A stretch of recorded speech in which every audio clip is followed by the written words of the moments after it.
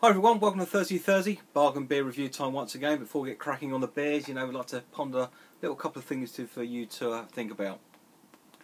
Is it really possible to turn wine into water? And if procrastinators had a club, would they ever get round to having a meeting? Anyway, up today from Morland, which is of course under the Greene King banner, it's their Old Golden Hen that, enough, is a golden ale. This tips the scales at 4.1% ABV. Cost me £1.25 English pence from supermarket Tesco.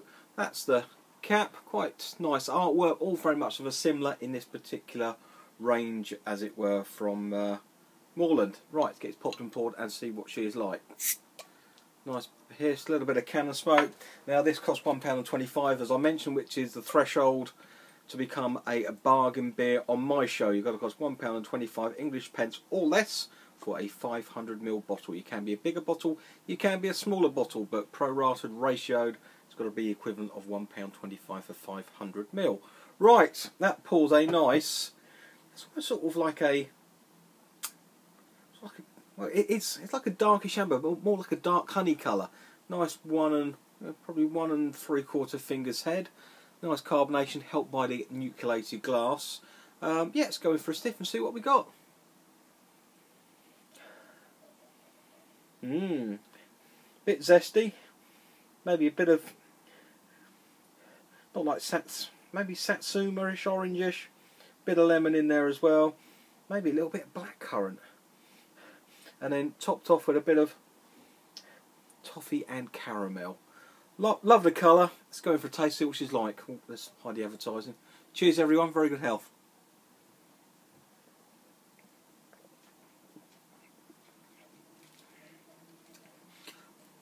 It's a good citrus hit off that. Toffee, caramel. Sounds daft, but it tastes like what it smells like. Now, quite nice bittering on there. Um, reading the back of the bottle actually before I had it, this has got the fabulous Galaxy hop in it. That's very, very popular in pale ales, um, but always quite hard to get hold of in your home brew shops or online. Um, seems to be snapped up as soon as it sort of hits the shelves. But it's got Galaxy in it, but not, you know, half a ton in there. Um, I believe it's also from the bittering, it's going to be like, I assume it's Fuggles in there. And something else as well. I'm almost getting like on like some stouts that you brew, get that nice sort of smooth bit of finish, and it's very much like that on that. Now, when I brew my stouts on my home brew side of things, I tend to use Willamette, and I'm wondering if that's got a little bit of Willamette in there. I'm probably wrong, usually am, as you know, um, but that is very, very smooth